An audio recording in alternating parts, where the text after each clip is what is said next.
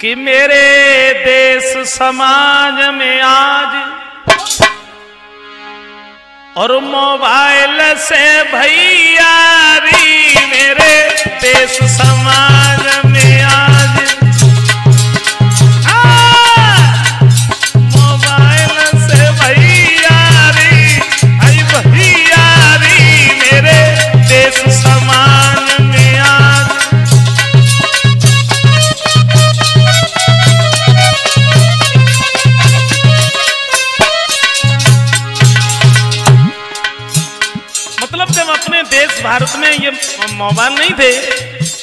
वैसे मोबाइल तो मैंने पढ़ा है बहुत दिन से चल रहा है। लेकिन अपने यहाँ नहीं थे। तब लोग इतने बिज़ी भी नहीं रहते थे। और अब तो एक बीमारी सी लगी है। मैं देखता हूँ। अगर कहीं बैठे हैं और अगर मोबाइल जेब में रखा है तो कभी कभी ऐसा लगता है कि फ़ोन बज रहा है। एक दिमागी दिमागी बीमारी है!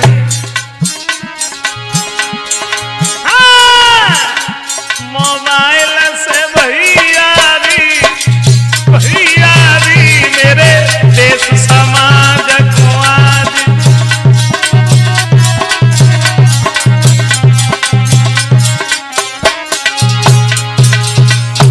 और वीरू दशा क्या है? अब छोटे छोटे बच्ची बच्चा दिन भर गेम चलावे। गेम माफ़ करना मैं इतना पढ़ा नहीं हूँ। लेकिन आ, जब लोग बताते रहते हैं तो मैं सुनता रहता हूँ। अब छोटे छोटे बच्ची बच्चा दिन भर गेम चलावे।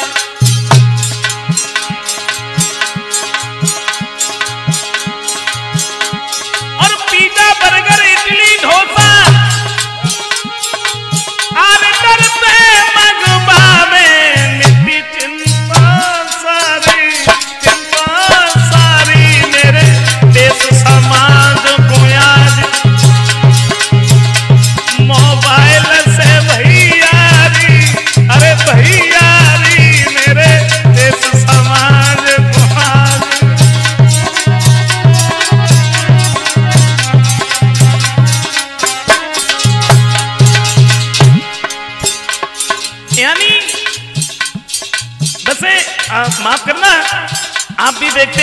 आप सब लोग भी जानते हैं, एक मोबाइल आने से बहुत सारी चीज़ें खत्म हो गई। मैं अपनी बात बता रहा हूँ, मैं, मेरे दिमाग में जो है, मैं वो बता रहा हूँ। एक मोबाइल आने से पहले टॉर्च चलती थी, वो खत्म। फ़ोटो खिंचवाने के लिए बड़ी दूर तक जाते थे, वो खत्म। और मतलब टाइम देखने के लिए घड़ी की ज़रूरत पड़ती, माफ़ करना, मैं तो बांधे हैं। टाइम देखने के लिए घड़ी की ज़रूरत पड़ती थी वो खत्म। और, और पहले जब हिसाब लगाया करते थे कैलकुलेटर चलता था वो खत्म।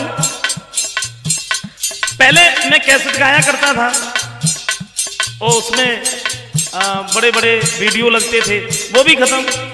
सीडी कैसेट खत्म ऑडियो कैसेट खत्म टैप डैग मतलब वो सब खत्म। क्यों?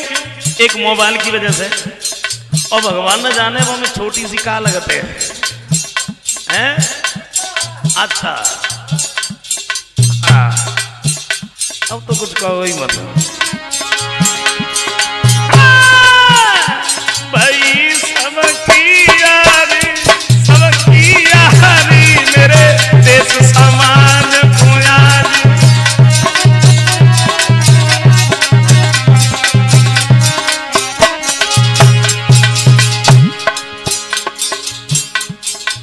बात और कहें हम।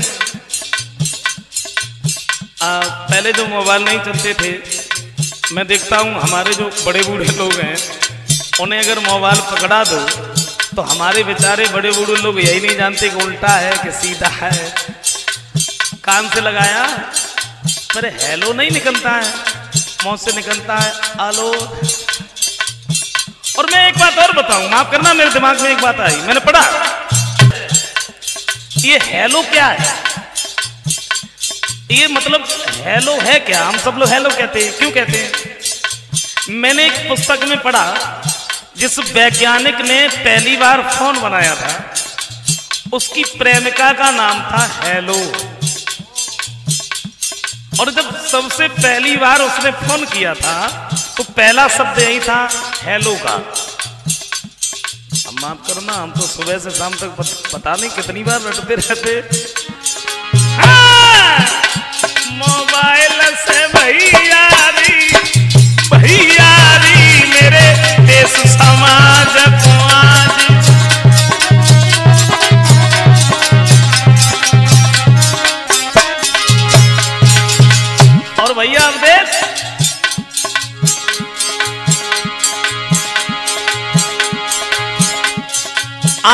आजकल के नौजवान निज कर्मों वाल उठावे। आजकल के नौजवान हाथ मोबाइल उठावे।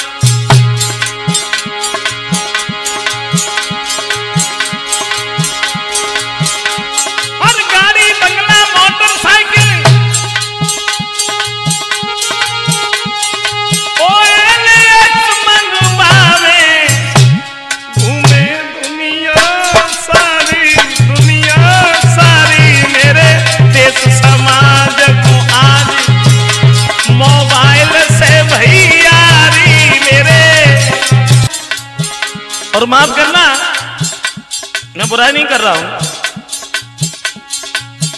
मैं सिर्फ़ ये बता रहा हूँ कि ये थोड़ी मोबाइल की बीमारी लगी है। हर किसी, माफ़ करो ना। मैं बार बार कह रहा हूँ, मैं बुराई नहीं कर रहा हूँ, लेकिन मैं देख रहा हूँ। और हमारे जो नौजवान भाई है ना, उनका तो कुछ कहना ही नहीं है।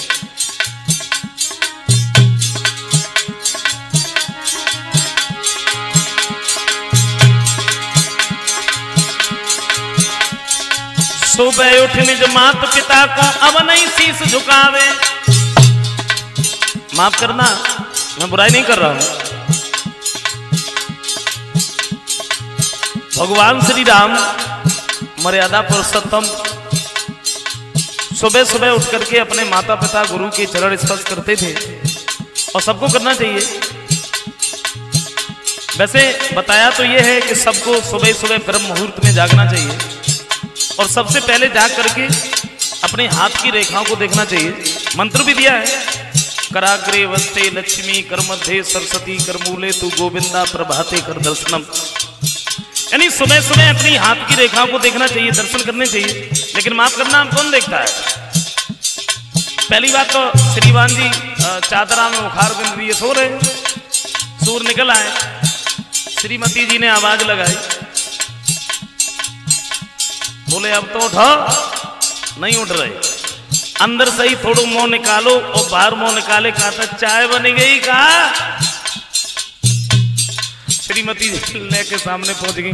तो प्रभाते कर दर्शनम नहीं, प्रभाते कप दर्शनम। माफ़ करना, सुबह सुबह अपने माता पिता की चरण स्पर्श करने चाहिए। और मेरा तो ये कहना है जो भी हमें सुन रहे हैं और जो भी हमें लोग मानते हैं तो मेरा ये कहना मानो, मेरी बात मानो क्योंकि माता पिता के चरणों में स्वर्ग है। लेकिन अब दशा क्या है? सुबह उठ निज मात पिता को अब नहीं शीश झुकावे।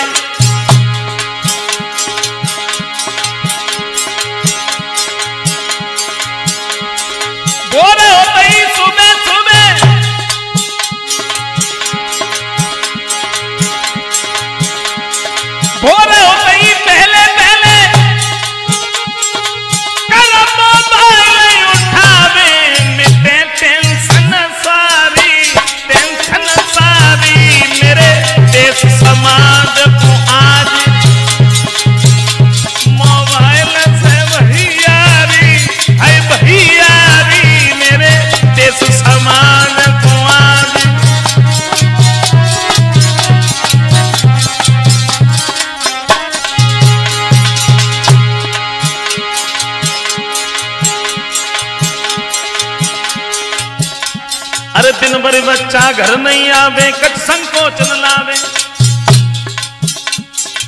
माफ़ करना। वैसे बच्चे अगर खेलने के लिए चले गए, स्कूल से आए, वो कहा है? माता पिता को कोई टेंशन नहीं है, कोई चिंता नहीं है।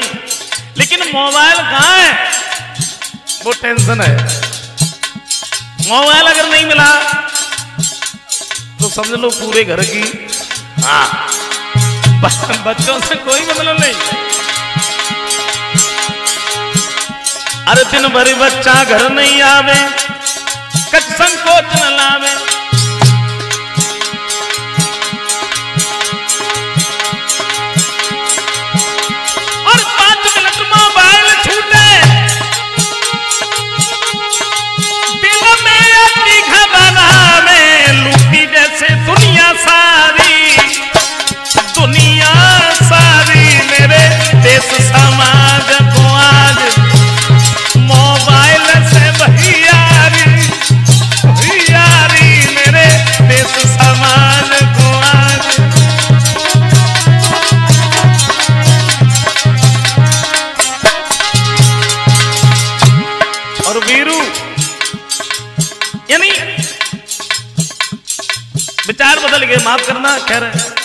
मैं तो इतना पढ़ा लिखा नहीं हूँ।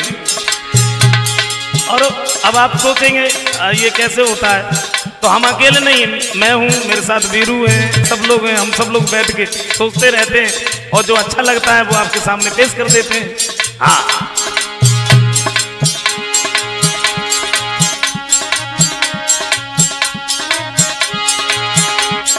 कोई फेसबुक रहो चलाई, कोई यूट्यूब चलावे। कोई फेसबुक रहो चलाई कोई यूट्यूब चलावे।